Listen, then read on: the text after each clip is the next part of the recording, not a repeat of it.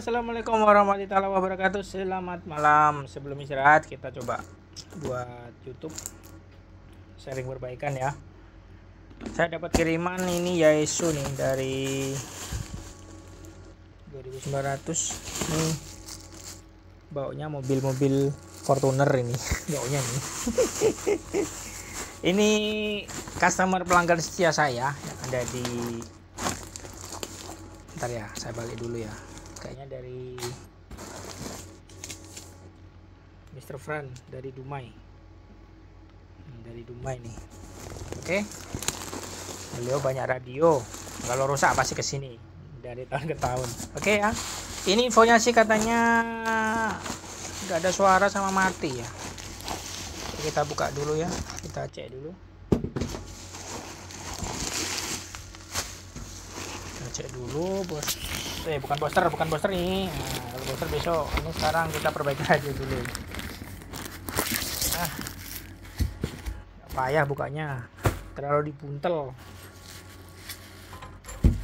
buntel itu apa ya? Dibungkus. Coba kita nyalain ya.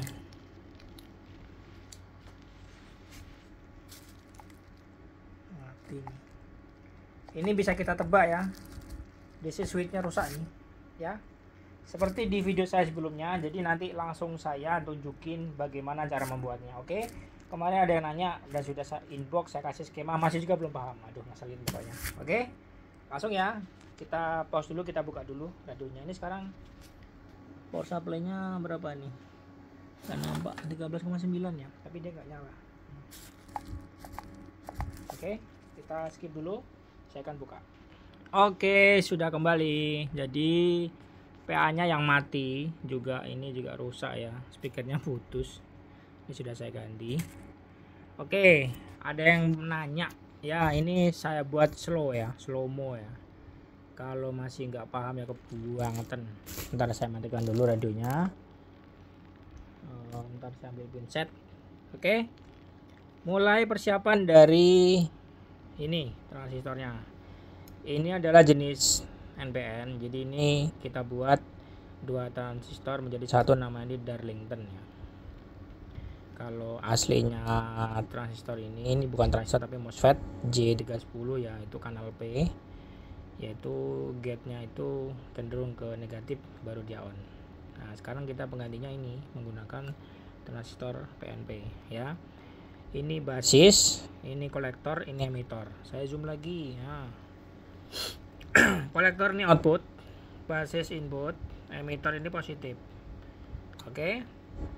ini ada R uh, sebesar 18 kilo atau 10 kilo juga bisa. Ini LR pull up. Nah, jadi supaya tidak ada gantung tegangan di sini. Jadi kalau di off kan dia benar-benar nol ya. Ini R pull up namanya. Kemudian ini yang satunya menggunakan transistor jenis NPN jadi kalau saya sebutkan NPN silakan anda berimajinasi yang model seperti ini apa oke? Okay? saya nggak perlu untuk menjelaskan ini harus ini harus itu karena NPN juga banyak. Ini basis ini dari CPU ini adalah pin power ya. Jadi kalau kita tekan power dia on saat klik ini klik terus itu turun lagi. Kalau dia saat ke atas dia terkunci tekan keluar maka dia aktif. Kalau dia tidak ada tegangan keluar ke sini maka dia mati kembali. Oke? Okay? ini emitor itu ground. Nah nah ini tak deketin lagi. Nah udah aku deketin lagi kalau nggak ngerti bangetan ya. Ya kemarin ada yang nanya minta skema. skema udah aku jelasin. Nggak juga ngerti. Terus ini kolektor ini diangkat ke atas menggunakan R dapat basis ini. R pull up tadi transistor PNP ini NPN ini PNP ini menggunakan 300 ohm ya. Boleh 150 tapi kalau 150 sepertinya lama-lama juga panas. Jadi sebagai acuan saya saya menggunakan 370 atau 470 ya nggak masalah. Intinya kerja dengan baik. Oke? Sekarang kita nyalakan ya. Ini saya belum nyalakan. Ini kita nyalakan dulu radionya oke yang saya bilang low hack tadi saya akan menggunakan multimeter analog biar lebih jelas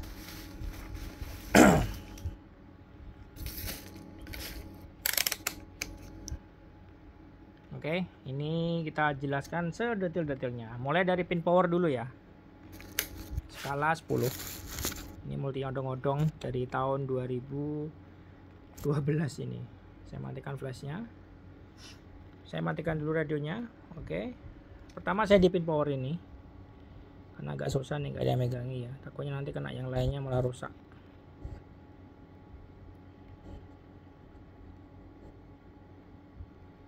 mudah-mudahan nggak lepas ya ini pin power cek pin di situ kita on kan di sini silo multinya. Nah, oke. Okay. skala 10 ya.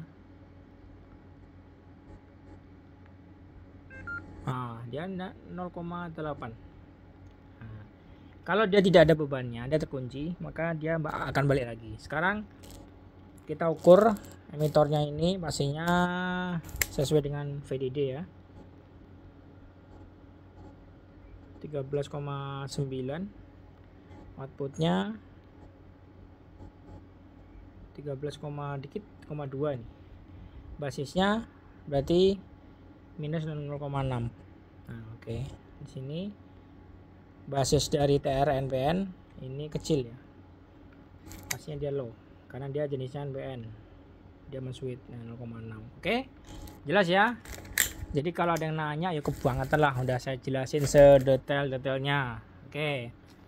uh, eh, ICPA ini banyak ya bisa menggunakan punyanya ya uh, Alinco atau 2300 atau yang radio-radio Cina atau bisa menggunakan IC PA yang lain TDA 2003 LM386 pokoknya terserah. Ya speakernya ini jenisnya ini. Kita tes kita coba anu tes suaranya dulu. Jadi jelas ya ini nah kalau ada yang nanya apa kira-kira mau ditanya? Ini ini tipenya saya hapus. Ya jenisnya PNP dan NPN PNP yang besar yang untuk switchnya nah itu dia. Oke ya kita coba cek powernya.